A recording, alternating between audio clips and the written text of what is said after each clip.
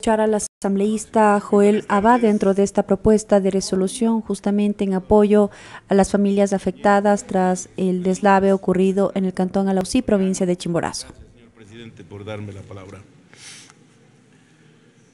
Solidario siempre con todo el país y de manera especial con Alausí, víctima de este grave desastre de la naturaleza. Como asambleísta de la provincia del Cañar, debo reclamar, como vengo reclamando por varias ocasiones, con el anterior ministro Cabrera, he tenido algunos encuentros y he pedido que atienda a las provincias del Austro ya han existido anteriormente desastres de la naturaleza, muy afectados los cantones de la provincia del Cañar, Encañar, Biblián, Azogues, etc. Desgraciadamente y lamentablemente ha habido negligencia del gobierno para cumplir con sus responsabilidades en cuanto a la vialidad. No ha existido atención a su debido tiempo. Solo ha existido ofrecimientos y nada concreto. Nos ha mentido. Y yo creo, y es mi opinión, que el país sabe muy bien que este presidente es la encarnación de la mentira y la profanación al pueblo pobre. Claro, en nombre de Dios y como buen representante del Opus Dei, estamos viviendo como consecuencia de eso un castigo divino. Espero estar equivocado.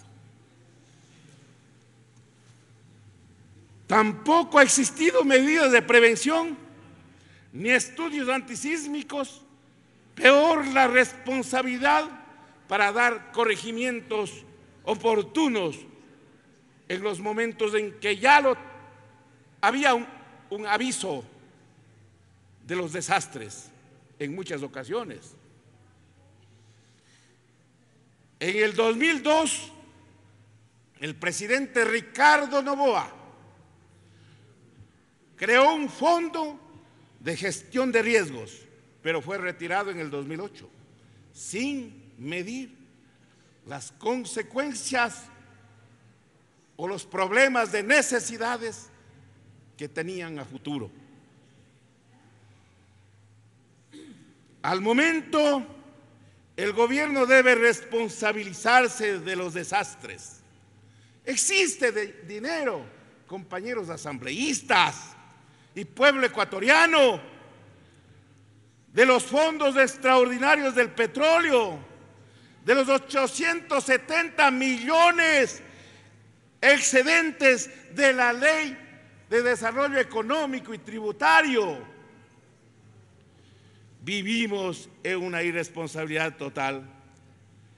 Se dedican únicamente a dar la libertad por algunos mecanismos deshonestos a los señoritos de cuello blanco y el pueblo y la gente pobre en el abandono. Pero más allá de las críticas, debo insistir que debe existir una ley de redistribución de los recursos para atender las emergencias. Debe crearse un nuevo fondo de emergencias que puede ser, me viene a la idea, el 0,5% del presupuesto del Estado manejado por los gobiernos seccionales.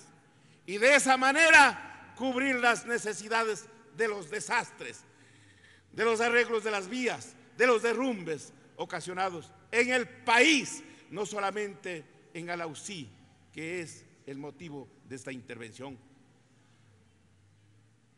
Presentaré un proyecto de ley en ese sentido para que no haya el pretexto de que no existe un mecanismo legal para otorgar los dineros cuando se presenten este tipo de emergencias. Muchas gracias. Asambleísta Mónica Salazar.